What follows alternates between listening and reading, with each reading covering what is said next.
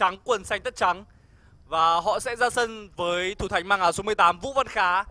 Các cầu thủ gồm có Nguyễn Hồng Vương, Lê Văn Phúc, Huỳnh Minh Khánh, Nguyễn Văn Út mang bằng đội trưởng, Nguyễn Tấn Thịnh, Nguyễn Thế Anh và huấn luyện viên trưởng của đội bóng này là ông Nguyễn Hữu Hoàng Phúc. Nguy hiểm! Cú đánh đầu dứt điểm vừa rồi là của cầu thủ mang áo số 24 Nguyễn Tấn Thịnh.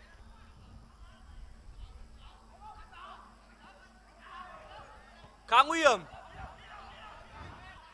Lý Thắng Vinh.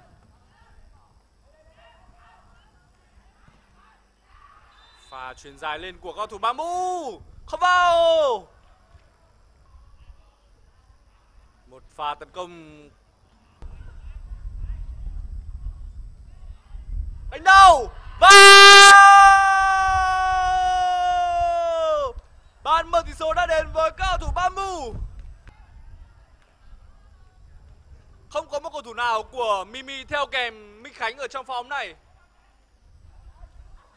Rất dễ dàng đối với cầu thủ mang áo số 9. Số sớm của cầu thủ Bamboo sẽ giúp cho trận đấu trở nên hấp dẫn hơn. Cầu thủ Mimi đã cướp được bóng. Sẽ có quả đá phạt dành cho đội bóng áo đỏ. Trọng tài đã rút ra tấm thẻ vàng dành cho cầu thủ mang áo số 3 Nguyễn Hồng Vương. Và cũng có thể đó là một pha trả bóng ra cho Thành Long. Không vào! Cú sút của Văn An là cực kỳ căng. Và đỡ bóng rất tốt của Lý Thành Vinh. Nguy hiểm! Cơ hội Không được! Đã để mất bóng rồi. Cơ hội dành cho Mimi. Văn An! Dứt điểm Không vào Vẫn còn Đúng là trận đấu đang diễn ra với một tốc độ khá cao, Cùng những tình huống ăn miếng trả miếng của cả hai đội. Cú sút của Thế Anh, không bao! Bóng đi sệt và đầy nguy hiểm. Thì bóng bổng là nỗi ác mộng của mọi thủ môn.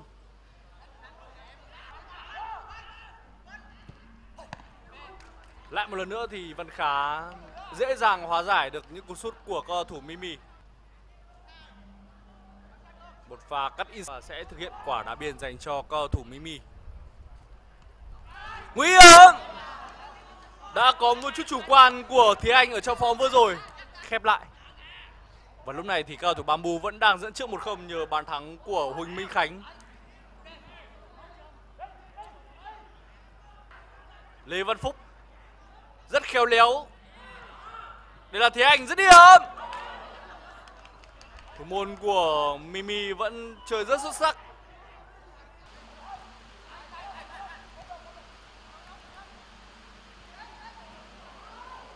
Cơ phản công dành cho cầu thủ Bamboo không đầy công. Đó là Lê Văn Phúc. Bước chạy khá nhanh của Lê Văn Phúc, loại bỏ được Nguyễn Văn An. Nguyễn Thế Anh. Nguy hiểm!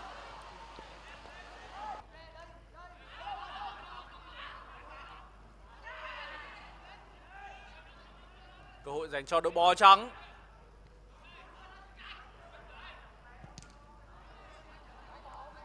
Bamboo đã ghi được một bàn thắng từ một tình huống không chiến như thế này. Cơ hội cuối cùng dành cho cầu thủ Mimi ở trong hiệp 1.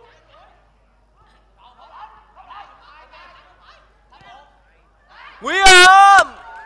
Không có một cú sút ở tuyến 2. Thậm chí vẫn còn thời gian để cầu thủ Bamboo thực hiện pha phản công. Lê Văn Phúc không được. Khi bóng chạm vào sáng ngang. Phạm Văn Thuận. Vẫn là cầu thủ mang áo số 2 Phạm Văn Thuận.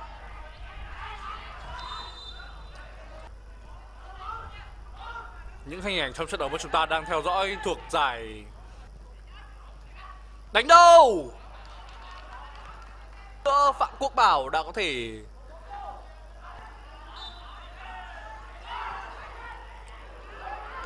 Cơ hội dành cho Mimi, Không bao! Bóng đã chạm vào cô dọc của Người đã có một tình huống dứt điểm nguy hiểm Vừa rồi là Không bao! Đây là pha đánh đầu của Như vậy là đã có bàn thắng gỡ hòa dành cho đội bóng đỏ. Khi mà đạo diễn hình còn đang cho chúng ta xem lại tình huống bỏ lỡ trước đó của Mimi thì bây giờ Quốc Bảo đã ghi bàn. Một tình huống phối hợp của xa của các cầu thủ Mimi.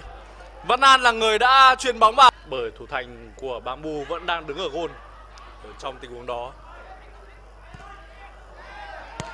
Cú sút khá nguy hiểm được tạo ra bởi Nguyễn Minh Đạt. Đánh đâu vào! Lại Bamboo ghi bàn từ một pha không chiến. Và đồng thời ở bên phần sân bên cạnh thì cũng đã có bàn thắng. Chúng ta cùng xem pha bật cao đánh đầu của Tấn Thịnh. Đánh đầu, không vào!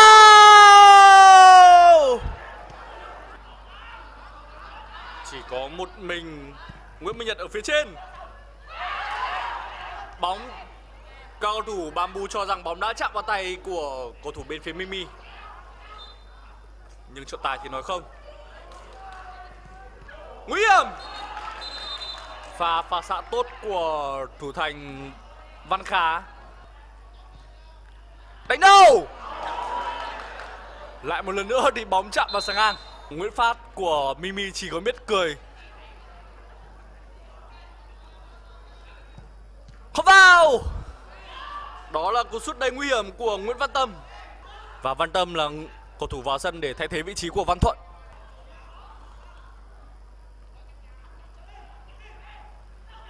Dứt điểm.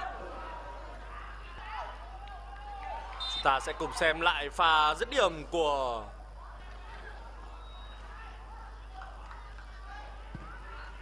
không vào. Cú sút đầy nguy hiểm của lê văn phúc.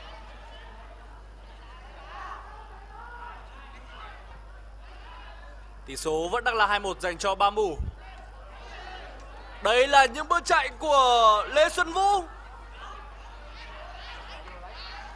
Xuân Vũ Nguy hiểm 3-1 rồi. Có thể gọi đây là bản kết liễu của cầu thủ ba mù Bóng là họ phá ra thật xa.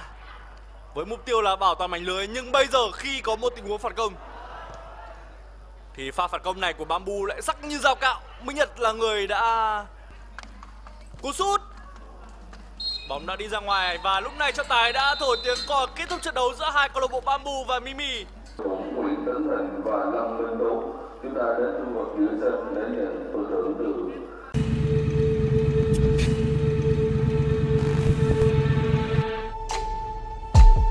Tất cả được bắt đầu từ sức bật và tốc độ. Để có thể phá vỡ mọi chuẩn mực,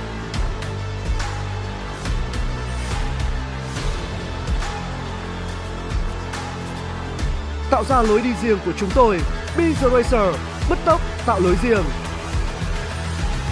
Jogabola Racer, bứt tốc tạo lối riêng.